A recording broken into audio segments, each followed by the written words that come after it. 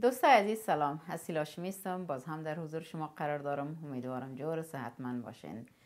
درس قبلی ما به ارتباط تارسازان و مانگیان ها با پارچه بود و درس امروز ما شرح پارچه است.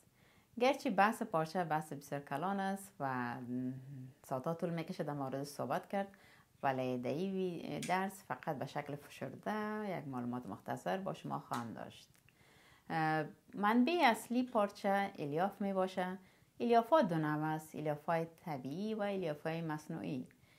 الیافای طبیعی که از نباتات و حیوانات به دست مثلا کتان، پشم و ابریشم و الیافای مصنوعی که یام دو نوع است یک نوع ارگانیکش است که در ترکیبش از از خمیر چوب استفاده میشه مثلا ریان، اسیتید، ترای اسیتید و غیر ارگانیک مثل پولیستر، نایلون، spandex، اکریلیک و امثالش.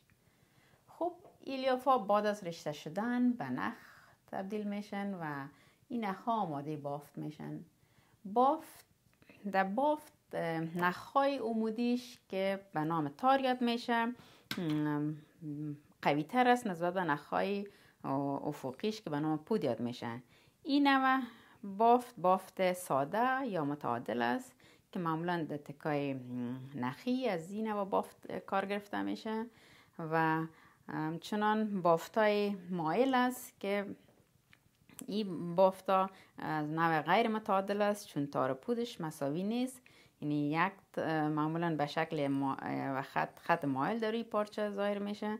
یعنی تار یک تار زیر سه تار می باشه یا سه تار زیر یک تار. به اون خاطر از به نام بافتای غیر متعادل یاد میشن. و همچنان بافتای ساتانی است که در بافتای ساتانی معمولا تار پودش بعد از چهار الا هشت قطار روی هم دیگه بافته میشه و یک این پارچه بافت بافت ساتانی به خاطر میگن که یک جلای خاص داری پارچه دیده میشه و زیادتر در پارچه ساتن ابریشمی و پارچه محفلی تکای محفلی از این بافت کار می‌گیرن. و همچنان های زنجیری یا القوی است که این بافت زیادتر در تکای جرسی کار برده میشه چون تکای جرسی نسبت داشتن یک مقدار spandex در ترکیبشان یعنی به اون خاطر است که پارچه زیاد راحتتر و آرامتر می باشه و این یک نوع, نوع ترکیبیش است که از ترکیب الیافای طبیعی و مصنوعی در این پارچه کار گرفته شده و این نوع نوع طبیعی است که از بامبوس و هیام از از پنبه از پارچه پنبه دار است و همچنان پارچه ترکیبی پارچه ترکیبی نسبت داشتن قیمت مناسبش یعنی زیادتر بازار داره و این پارچه که می‌بینین از دو نوع از کتان که الیاف تبیز و همچنان اکریلیک در رویش کار شده که به نام پشم مصنوی یاد میشه در بافتش کار گرفته شده. و هم چنان از پارچه ترکیبی می باشه و با پیشرفت تکنولوژی تانستن پارچه از مصنوعی بسازن که تفاوتش بسیار کم است با پارچه از طبیعی. مثلا این که می‌بینین اکریلیک است که به نام پشم مصنوعی یاد میشه و این هم پارچه پشمی است که منابع طبیعی است و یعنی بسیار کم تفاوت در دو پارچه دیده میشه. و این پارچه را که می‌بینیم پارچه ابریشمی است و یام وسکوس که از خاندان ریان است که ریان هم خودش یک نوع چیز از خاندان به نام ابریشم مصنوی یاد میشه.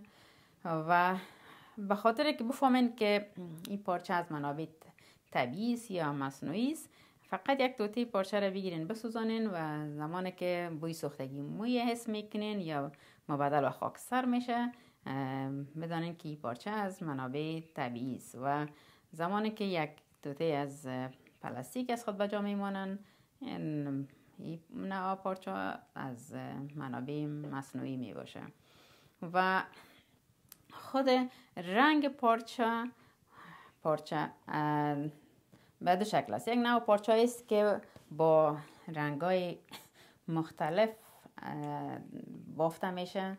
یعنی تار پودش یعنی پیش از بافت رنگ رنگامیزی میشه و بافته میشه کی رنگ از این پارچه به مراتب محکمتر می باشه یعنی پخته تر می باشه نسبت به پارچه که بعد از بافت رنگامیزی میشه چون به یک تار بافته میشه بعد از رویش نقش نگار و رنگ رنگامیزی میشه. و پارچه مخملی یا پارچه پارچه مخملی را که می‌بینین این پارچه از ترکیب از ترکیبی می باشه اکثر وقت یا یا آن وقت پارچه است کاملا از ابریشم ساخته میشه.